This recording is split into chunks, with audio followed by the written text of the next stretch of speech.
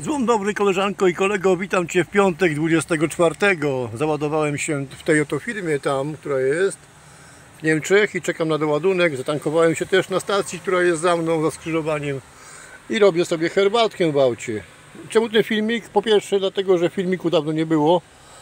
Po drugie obejrzałem taki sobie wczoraj reportaż krótki i jestem troszeczkę zainspirowany tym reportażem. To taki 10-minutowy reportaż na YouTubie obejrzałem o ludziach, którzy stali w kolejce po żywność w Polsce, Polacy, tak?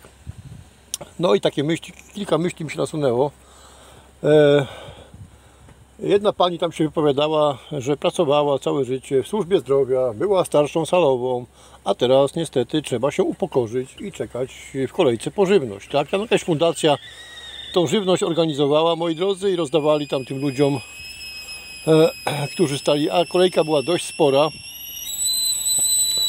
E, ktoś tam, jakiś starszy człowiek opowiadał, że dostał, że renty, czy starsza pani, już nie pamiętam, renty ma 1300, za mieszkanie płaci 600, za leki płaci 300, no i niewiele jej zostaje. No i trzeba niestety tutaj po tą żywność, taką czerwa, czarną herbatę sobie robię, bo już kawę dzisiaj piłem. Przed chwilą zjadłem śniadanie, ja herbatkę będę miał na, na podróż, kiedy będę jechał gdzieś. I tak się zastanawiam nad tymi ludźmi, czy oni nie wiedzieli, co ich spotka na starość, nie wiedzieli, nie, tego nie przewidzieli, a może za dużo, moi drodzy, spędzili swego czasu przed telewizorem. Oglądali seriale, i inne produkcje filmowe, programy rozrywkowe i tak dalej. I tak po prostu telewizor, czyli w, moim, w mojej wersji to jest hipnotyzor, bo to jest hipnotyzja, a nie telewizja, okradł Was o Wasze życie i sprzedaliście się ZUS-owi za 1300 zł, tak? A na pewno, na pewno podczas Waszego życia ktoś zjawił się z propozycją działania w marketingu sieciowym, ale ta pani salowa pewnie i ten starszy pan czy starsza pani powiedzieli, ja nie będę nic polecał, ja nie będę nic nikomu wciskał. No to teraz stoisz w kolejce po żywność, tak, ponieważ ci brakuje, bo nie pomyślałeś w ciągu swojego życia, że może by coś po pracy jeszcze robić, może by, jak ja na przykład, o zajmować się firmą taką Dedra, taki sklep internetowy, tak, budować sieć, rejestrować nowych ludzi i korzystać e, z prowizji, to jest, to jest y, żel do rąk, którym dezynfekuje sobie ręce, tak? Taki produkt, tak? Proste, tak? Następny produkt, który używam, moi drodzy, to jest do czyszczenia okularów. Noszę okulary, kupuję sobie w Dedrze takie do okularów. Ja nie chodzę po domach i nie wciskam tego towaru. Po prostu rejestruję nowych ludzi, ja czy moja żona. Moja żona ma jeszcze dodatkowy taki biznesik podobny i budujemy sieć konsumentów, tak? Działam też w niemieckiej firmie LR. Proszę bardzo, probalans, minerały i pierwiastki śladowe po to, żeby czuć się dobrze, aby nie mieć organizmu zakwaszonego i nie, za, nie zachorować na raka, bo lepiej zapobiegać niż leczyć, tak? Proste, proste. Można się zajmować czymś po pracy lub pracując gdzieś, a nie siedzieć przed telewizorem całe swoje życie E, czas to pieniądz. Swój czas straciliście, a teraz stękacie w kolejce po żywność, że macie tak mało pieniędzy? Czyja to jest wina? I tam oni się żalili, że to, tamto, nie? Ale powinni wszyscy, każdy z tej kolejki pójść i przed lustrem stanąć i pokazać palcem na samego siebie. To moja wina. To moja wina, że teraz stoję w kolejce po żywność. To moja wina. Nie rządu, nie czegoś tam jeszcze, nie kosmitów, nie, nie cyklistów i masonów, tylko to jest Twoja wina. Bo zmarnowałeś swój czas przed telewizorem, swoje lata, swoje tygodnie, swoje miesiące, patrząc na jakieś bzdury po prostu, zamiast podnieść głowę do góry i zająć się jakimś takim prostym właśnie biznesem, o na przykład sklepem internetowym Dedra. Jest internet, dzisiaj wszyscy go mają, można coś polecać, można ludzi rejestrować i można mieć z tego prowizję. Można sobie na starość zbudować e, dobrą prowizję, tak, i co miesiąc, potem to już się samo toczy, to już nie musisz w tym pracować.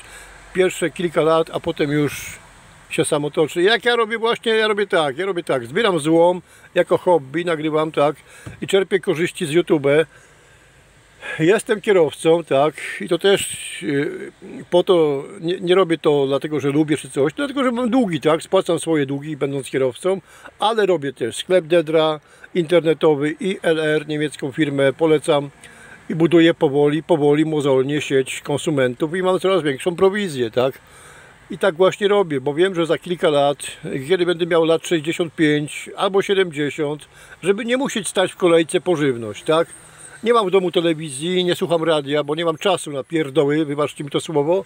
Po prostu żyć trzeba, yy, że tak powiem, z rozumem, tak, z głową, a nie być jak roślina, przyjść z tej pracy, z jakiejś firmy, siąść w domu przed telewizorem i hipnoza, i hipnoza, tak?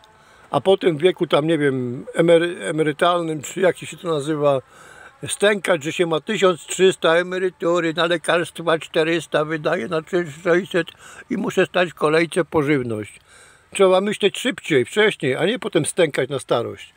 To takie moje dzisiejsze do Was przesłanie, panowie i panie, abyście nie spędzali swojego czasu przed telewizorem.